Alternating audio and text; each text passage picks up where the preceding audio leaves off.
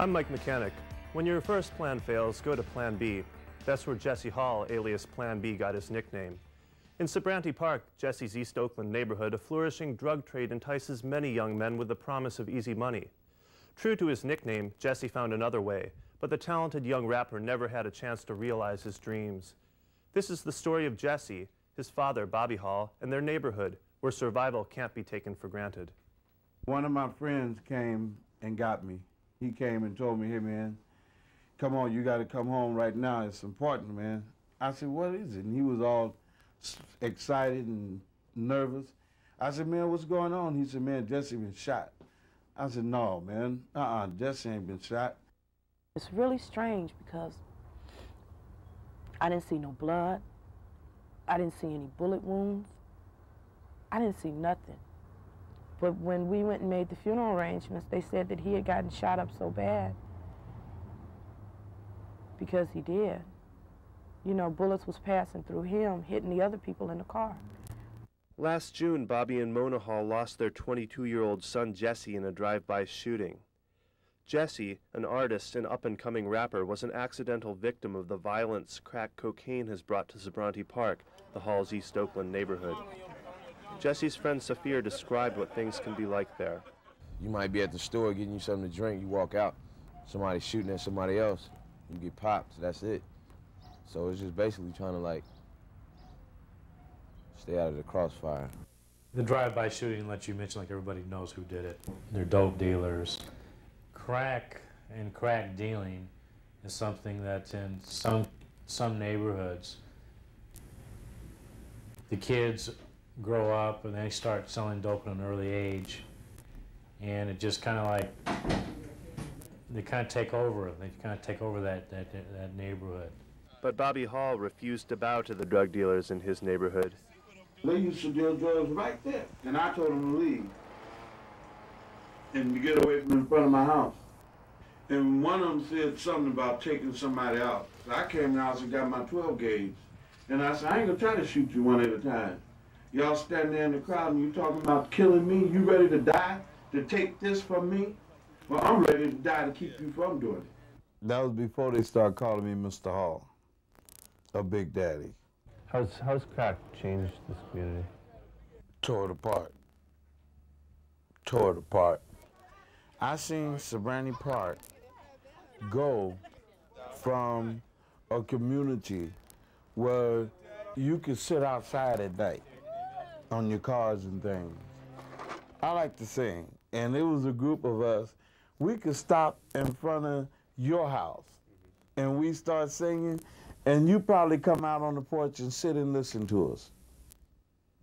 Nowadays, anybody come past your house, hey, you getting a gun and running to the window and laying on the floor, peeping out the cracks. You hear me? And then the kids could go from house to house and play. Nowadays, you have to escort your kid to each house that you let him go play at.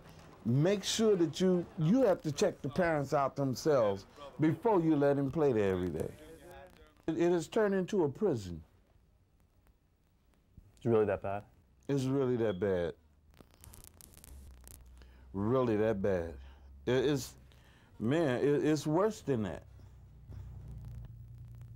At nighttime, when you go out, get your gun. Why does everybody carry guns? This shit is hectic.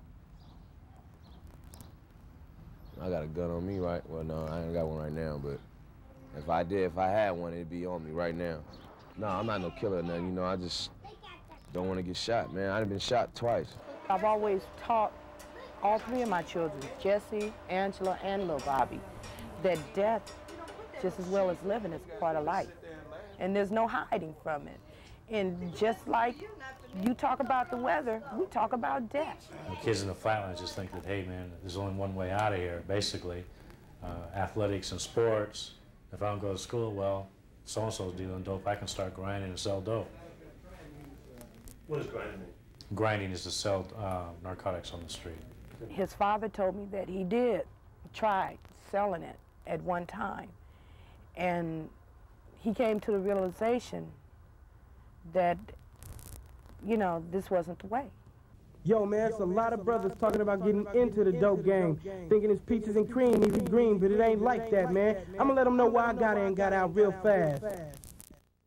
Step to the stage with a big smile, grabbing the mic so I can reflect past lifestyles. When rap first came out, he fell in love with it and started rapping in.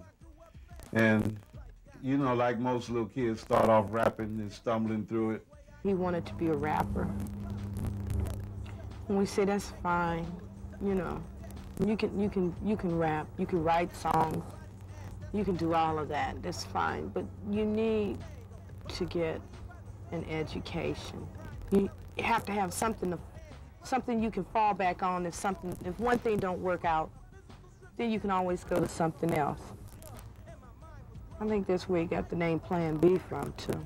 He got better with it, then he started writing his own lyrics, making up his own raps. And he went on and came up to where he was when the accident happened, ready to put out his own LP, and he had put together a whole record company. He had snuck behind Bobby and my back and had applied to Grambling University. He never found out he was accepted. He received a letter and we received a telephone call the day after he was murdered. Cause he was, we, we, we all silly, you know, and Jesse was silly. But sometimes, you know, you're in a silly mood and then he silly you to death and then you get silly and then you can't get off. Me and Jesse was like, man, that was my brother, you know what I mean? That was my brother. We were, we were very tight. And I ended up showing him how to airbrush. He would come through every other day, you know, practically every day, just learning how to airbrush just by watching. And all the money we made airbrushing, we could put into putting his album out. That's the way it is when you're grinding.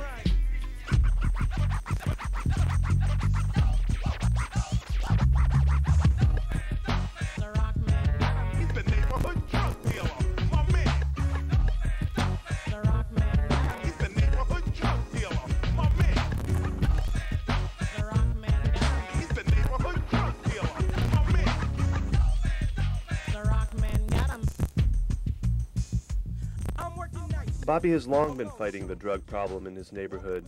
He is active in neighborhood groups striving to improve educational opportunities for kids and to get parents involved in their children's schooling. He is also part of Home Alert, which encourages neighbors to report crimes. I asked Bobby whether his efforts have paid off. To say yes would mean that the killing and the violence has stopped. As you know, my, my son just died gunned down here in the streets. A week before that, a guy was gunned down right there on my in, in the streets and on my porch. We have gained support of, of the more support of the community, but not full support of the community. If things are so bad down here and it's not a safe place for your kids, why do you stay? I got involved in the community. And I love this community because I own a piece of this community and I care about it. My man lost his life to these damn streets that I'm trying to clean up. I'm sure not gonna walk away now.